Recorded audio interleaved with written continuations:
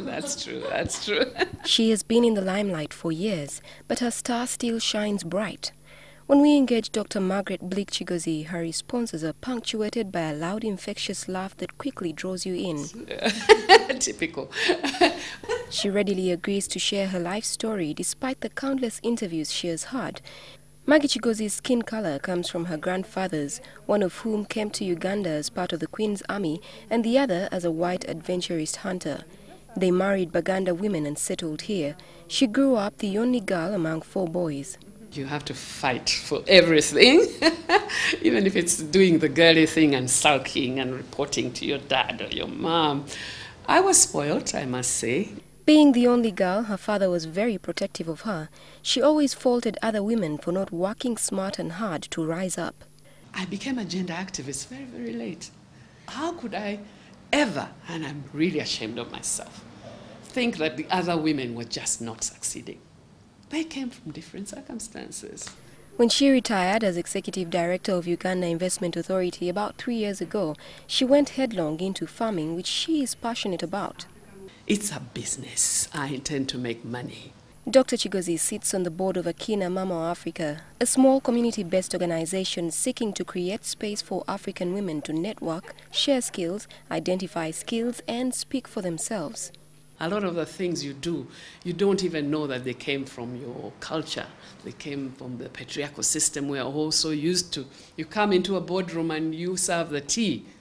No, we are women leaders. That's not what we do. While the African woman has made great strides towards achieving the 50-50 balance after the 1995 Beijing conference, she feels there is still a lot to do. Kagina, Musisi, we're really proud of them, but how many are they? we don't have enough women in the corporates. We don't have enough women owning large businesses. She studied human medicine at Makerere University and in her class of 120 students, only 11 were girls.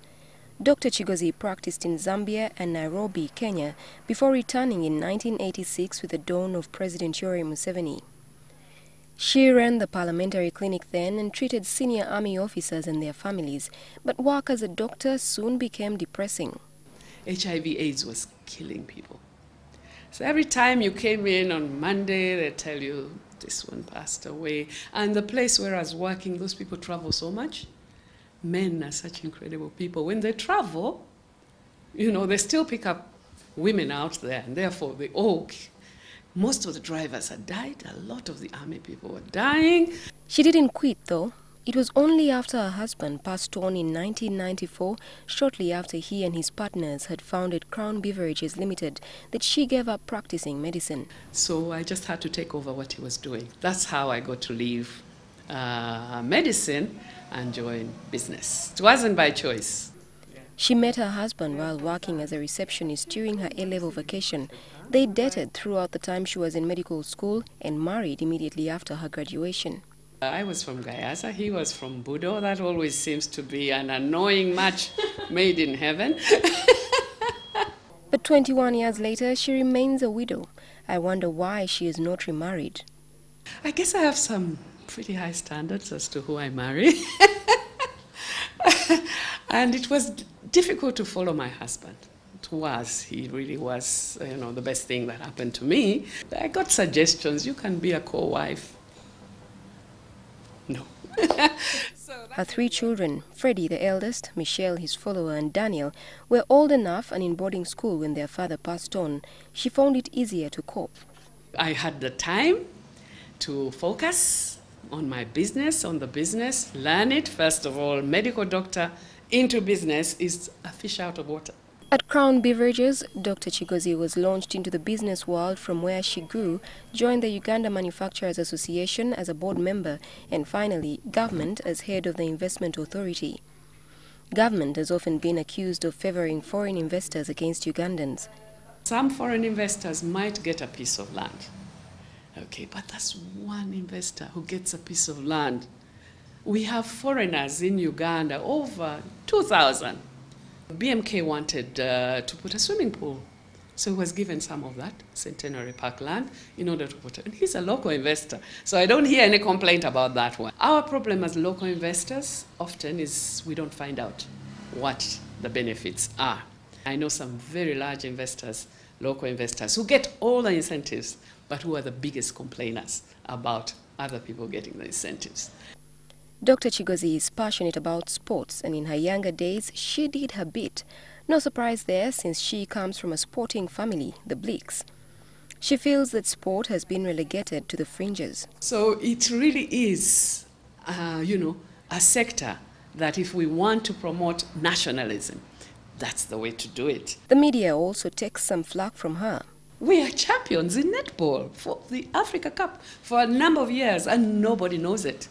One of her sons, Daniel Kigozi, commonly known as Navio, is a renowned rapper. As with most people in the entertainment industry, Navio has had his share of bad days in the media. But his mother is not worried about that. She is confident she trained him well.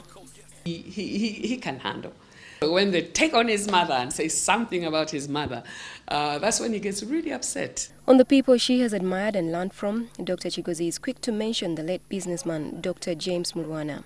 He really liked to support women. I think he was preparing me for to chair the Uganda Manufacturers Association. And President Yoweri Museveni. We watched him win a war with a little army of, you know, ragtag little boys and girls. Her happiest memories? In my youth, my father. Wonderful memory. He's just there. Uh, happy memory later on, my husband. The worst moment was the day her husband died. I'd gone to visit the kids uh, Turi. My children were in Kenya, Kenya uh, schools, and he got a heart attack on a Friday night. Visit, Viso, what they call Viso, was on Saturday. So, yes, we're not around. So that was bad. That was devastating. But she has managed to pick herself up and build her family. She learned some lessons, though, from his death. I was very lucky. My husband was really, really organized. So he actually left a will. Otherwise, you get kicked out of the house, you get kicked out with your children, if you're lucky, with your children or without them. And the second lesson? We'll find everybody's willing to help everybody, but they're really not there. They are really not there. So sit down, focus, and do it yourself. Josephine Karungi, NTV.